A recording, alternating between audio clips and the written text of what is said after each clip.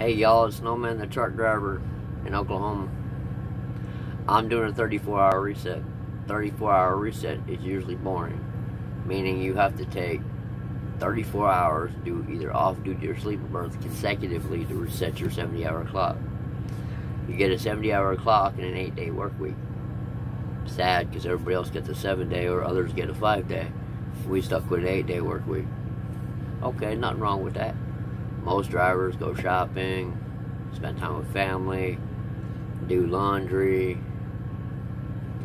go to a museum or a sports event, or whatever comes to mind. I'm a lazy truck driver. I watch TV and play video games. Ain't nothing wrong with that. I might be lazy on a 34, but when I'm actually working, I do my hours. My average day since I've been to this company, minus two days ago when it was a drop and hook, twice. Uh, my average day is over 600 miles. That's a good thing to do. Um, but you do whatever you're comfortable with. If you want to know any more about uh, 34 hour resets, you, I'm pretty sure there's a lot of videos on YouTube that can tell you. So this is Snowman the Trucker saying peace out. Talk to you guys later, and I'm going to enjoy my 34.